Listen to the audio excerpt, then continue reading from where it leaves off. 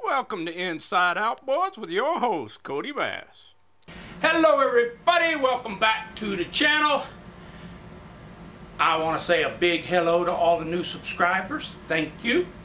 And I want to say a big welcome to 2021.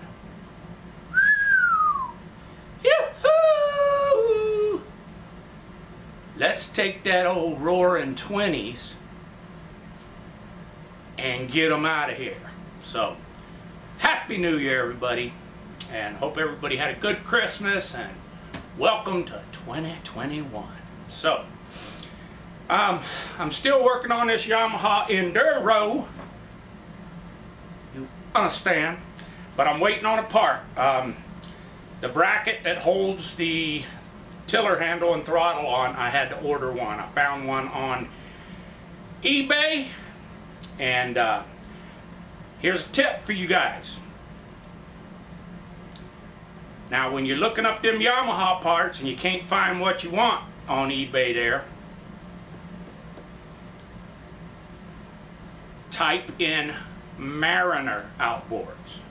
For about four years there, three and a half years I guess it was, Yamaha produced Mariners. And the bracket that I ordered for this Yamaha Enduro is off of a Mariner 40. Couldn't find one under Yamaha. There was hundreds of Yamaha bracket parts and everything, but not the one I was looking for. So then I typed in Mariner, boom, 63 bucks. So happy with that. It ought to be here in a day or so and I'll get back on this. Um, in the meantime, I've just been cleaning and priming and yum yum yum yum yum yum and all that. Here's the power head. Been moving along with it. It's looking pretty dirty. Yeah, she painted up pretty nice. Sorry about the zoom in. But yeah, she painted up pretty nice there. And uh, so I'm just waiting on that bracket. And then uh, I got the lower leg all washed and everything, purple powered. But I still got to do a little painting and sanding and such on it so I'll get that done here pretty soon. And uh, but I've been doing some other things. And you say like what? Well I say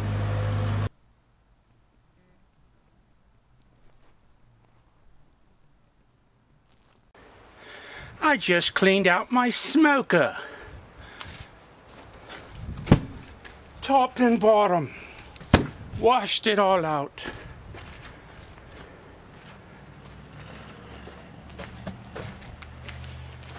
Well, you know what time it is when I wear this hat. This hat. It's Christmas in January 2021. Someone came bearing gifts. Let's look.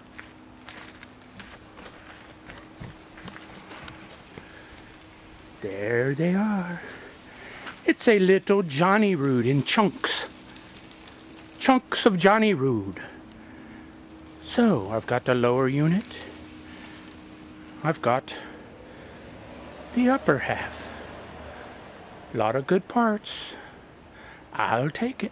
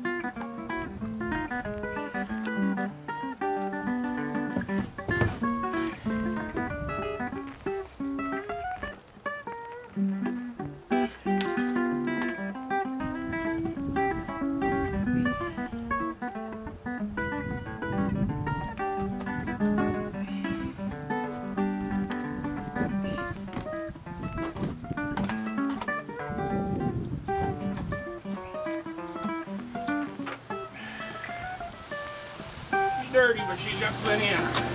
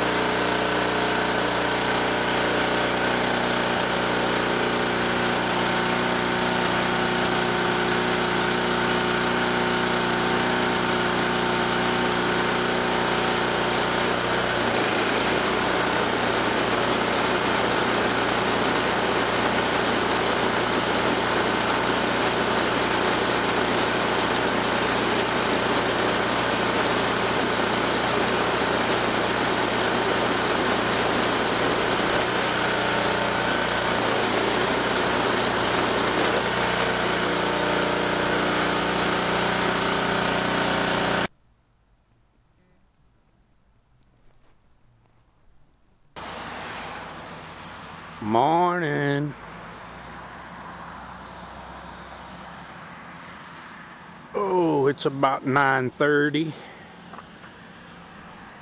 Just stopped here at what they call the Dead Man's Curve Overlook. Gonna be a cloudy, kind of a rainy, misty day. But the water's nice and calm pretty good, but the wind's supposed to pick up to 30 knots. Then it's supposed to start raining and blowing really hard with some mixed snow. If you look in them clouds over there, you can see the sheets of rain. If you look right out there, you can see it coming on the horizon. But it's still a pretty morning. Pretty morning in paradise. Yeah.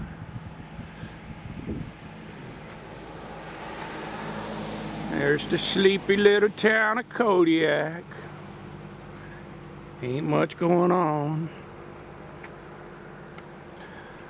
The windmills. Most of them are milling. They got two of them look on shut down, but most of them are flopping around. A little bit of snow dust on the Pillar Mountain. All right.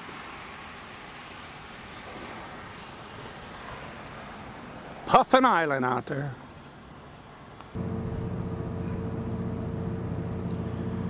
Well, there's your deadliest catch stuff. They're all rigged up. This is what you call a wheelhouse forward boat. And right in front of it is a called wheelhouse aft. I'll show you one of them too.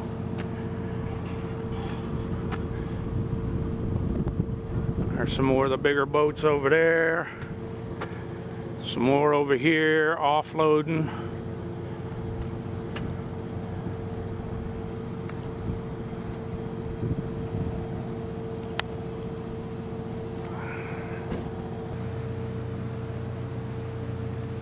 There's the pots they use. They'll take that big old crane there, swing them buppies right over on the boat like it ain't nothing. That's the Lady Alaska. Pretty boat. And they'll stack all them pots on there and go out and get that stuff. What's going on? That's a smaller crab boat there, so he won't go out as far. But I just talked to those guys on the Lady Alaska, and they are indeed heading for the Bering Sea. You can see he's got a lot less pots on that boat than that big Lady Alaska. But I talked to those guys, and they said, yep, they're going out for the uh, opilio uh, snow crab out to the Bering Sea. So, where these smaller boats like this get in trouble, they get out there and get in that weather, and then the sea spray and everything starts icing them pots up. And they got to get out there with baseball bats and sticks and whatnot and break it all off, because it can cause them to roll over.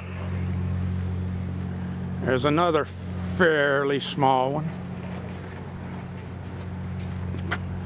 And you can see the pots are literally hanging off the side on that one. Look at the outboard side, you can see the pots hanging right off.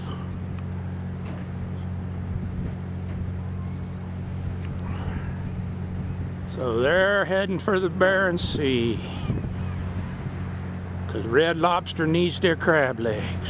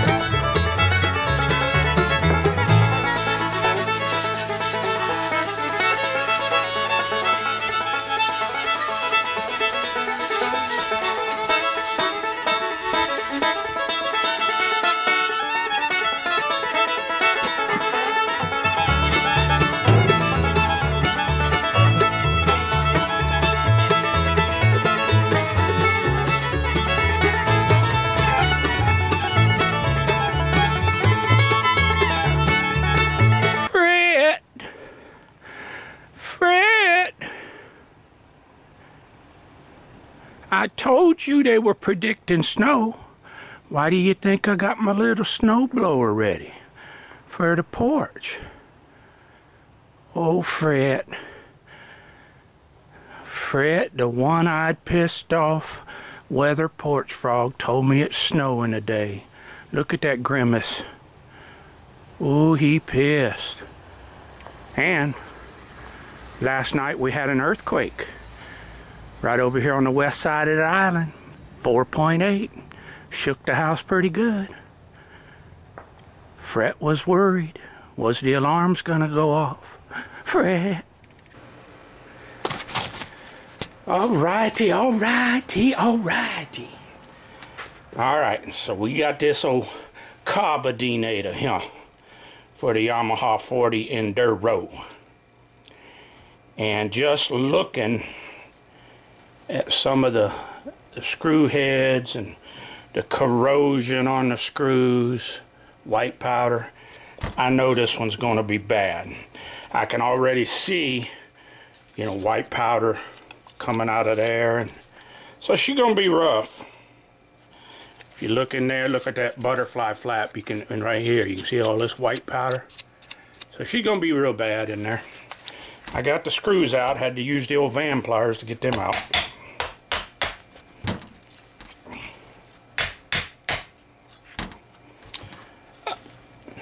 Yummy. Think that's a little bit of white powder? Jesus, look at that. Jesus, look at him. Look at here. Let me get something. It's a little darker in color so you can see. Move me Vampliers. Put old dirty rag here. Sit in there? Yeah. Watch this. What do you think? She would have started right up, right? Oh yeah, she's she's bad. But hey, I've seen worse.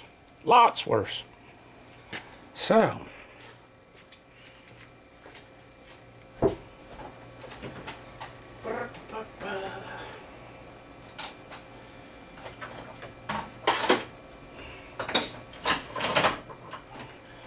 But this is not one that I'm just going to be able to spray a little bit of a carb cleaner in and a little compressed air. This one's going to have to go for a soak and then a good long ride in the ultrasonic cleaner. Faux show. Yep. My gasket popped off. Me get a pick. Yeah, she's all, all corroded in there.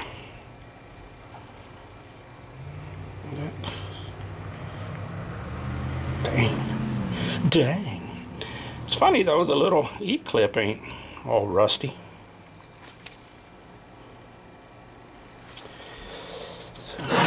get it with the Vampliers and get it out. Might not be, might not be enough in there to get out.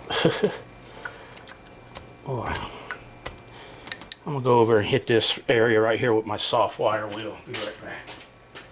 Be right back. To where I can see.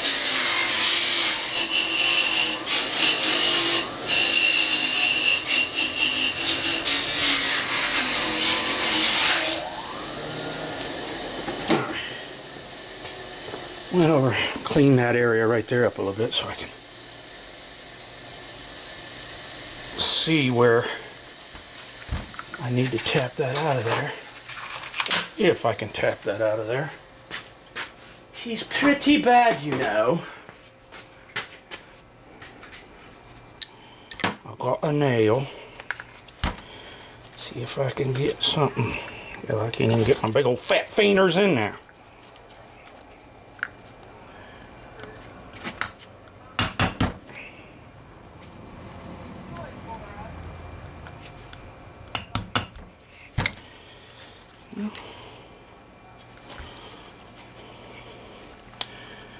Yeah, she bad. She bad, you know. She real bad. Can do it with these gloves. Barely can do it. It's all.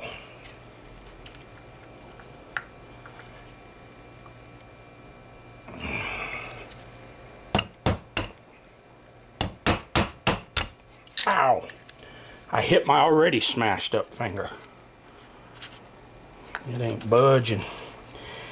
It ain't even budging for the curmudgeon.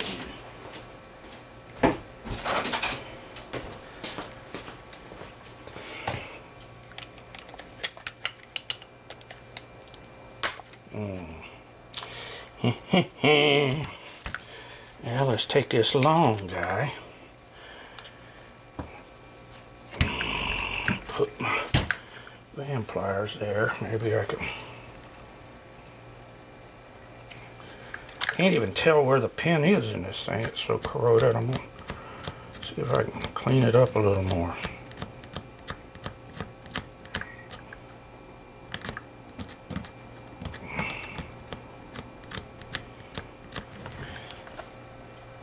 Looks like it's right in that area somewhere. Hate tapping on my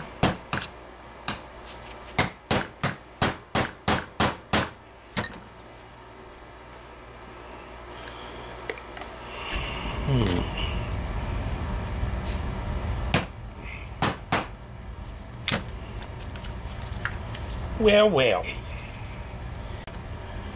She is one salty, oh, salty, salty, salty carbonatus. Nah. Gonna have to devise some kind of plan here. Okay, what I did was I got these small needle nose vice grips and was able to grab it, twist, twist, twist, twist, twist. And the reason why I couldn't see it on this other side is it don't go all the way through. It just sits in that piece right there. So it don't go all the way through. It just goes in there a little bit. You understand? So we got it out. It's the good news.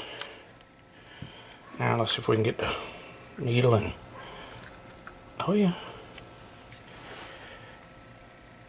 Well, there's the float. Okay. And there's what's left of the needle and seat.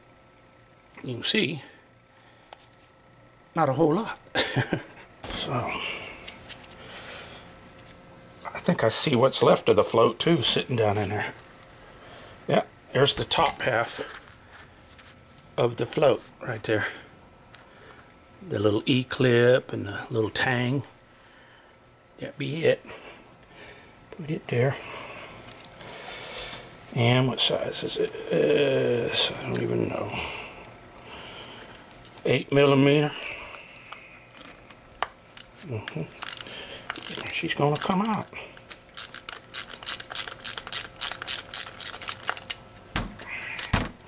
She's gonna come out, man. Man, she's gonna come out. I'm telling you, I'm telling you.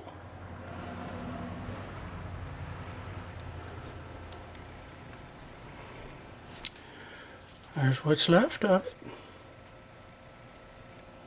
Mm -hmm. Now, now, will these guys come out? I mean, I could just jump on them with the Vampliers, but I'd rather just see. They weren't that bad. Not that bad.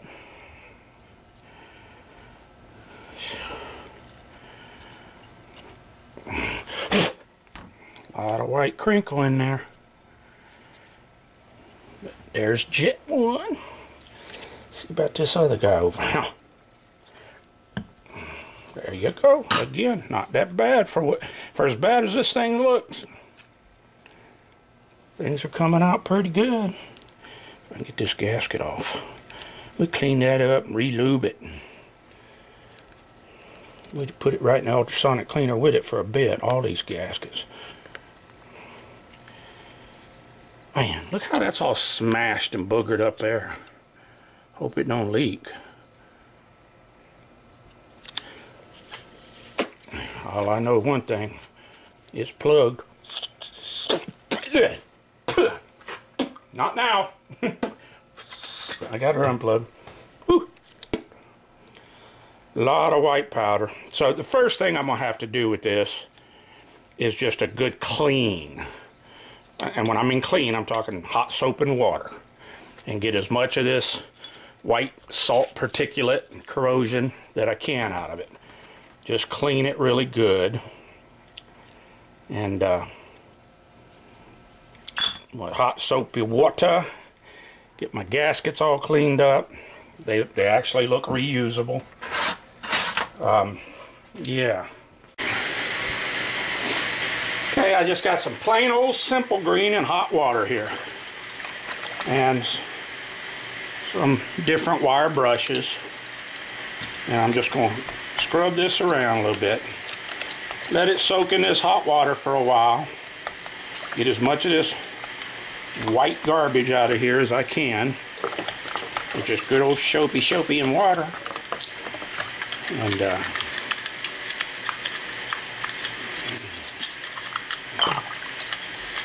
it all cleaned up. And before I put it in the uh, ultrasonic cleaner, I'll, once I get as much of this out as I can, I'll uh, take it over to my wire wheel on my bench grinder. I have a coarse one over there and a fine wire wheel. And I'll hit it with the fine wire wheel and clean this surface up as much as I can. Okay. But I'm going to let her soak for a little while before I put her in the uh, ultrasonic cleaner. I'm going to let it soak in this soapy water for a bit. She'll clean up.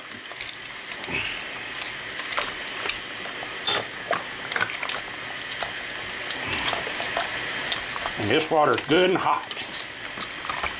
Okay, let's get these gaskets rinsed off. This one's got a little tear on the ear. I'll just put a little dab of RTV black on them. They'll be fine. Okay. And uh, after the ultrasonic cleaner, then I'll use the spray carb and compressed air and all that. But we'll get the jets, we'll get every bit of it through the ultrasonic cleaner. My jets soaked in. All the nuts and bolts going in there too. The float, let's rinse that off. Get it nice and clean. Put it over here. Screw the other gasket. Get it all clean. Pretty and pretty. Good and clean. Okay, there's my gaskets, my floats, all that's good and clean. Now, I'm just gonna let that soak um, for a couple hours, scrub it some more with a brush. Then I'll take it over to my wire wheel right over there. And I'll hit it with the fine wire wheel, the body inside and out. Get it as good as I can. And uh, that's where where we're going with this. So it's pretty bad. Then I'll have to go out and get a needle and seat. I'm sure I'll have one.